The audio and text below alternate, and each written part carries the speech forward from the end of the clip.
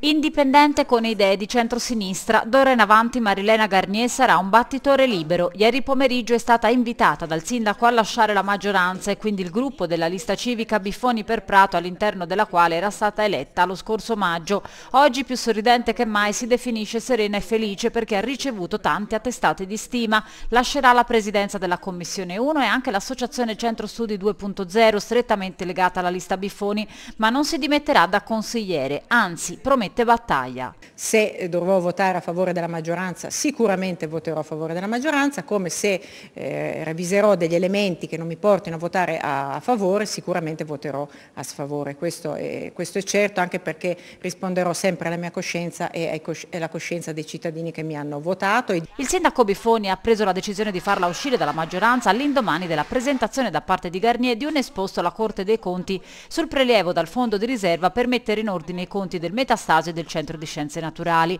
ma alle spalle c'era una lunga sequenza di dissapori e contrasti su bilancio, aeroporto, amianto nelle tubature dell'acqua, interramento della declassata nonostante la falda altissima, gestione delle partecipate, disaccordo su tutto quasi, ma per Garnier ad aver tradito il mandato degli elettori è stato il sindaco. Non ho assolutamente tradito gli ideali della lista civica di Biffoni, io proprio perché non ho tradito gli ideali della lista civica Biffoni, eh, ecco perché forse ho fatto una lotta strenua fin dall'inizio, perché se noi guardiamo il programma del sindaco è evidente che tantissimi elementi del programma sono stati disattesi.